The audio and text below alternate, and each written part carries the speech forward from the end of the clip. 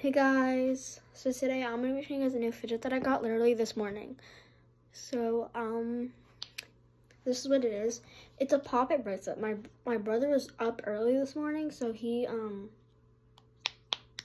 so he um, he was up early this morning. I don't, I think he was going to like Dunkin' or something, and um, he gave me this thing.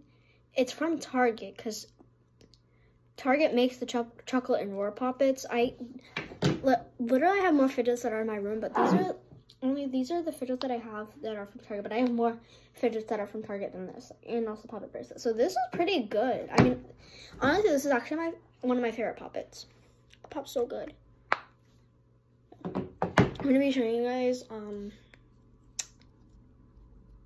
one of the things. This pops really good, and I also like that when you pop a it's just like kind of a little loose when you wear it though. I don't like that, but I don't. I'm probably not gonna be wearing it as a as a bracelet as much probably, but I don't know. But you can like stretch it out, and it and it pops. It's also really fun too. It pops really good. I like the color on it. So I'm definitely gonna give this probably a 10 out of 10 too. So it's got the yellow, it's got the um, the pink, and it's got the yellow.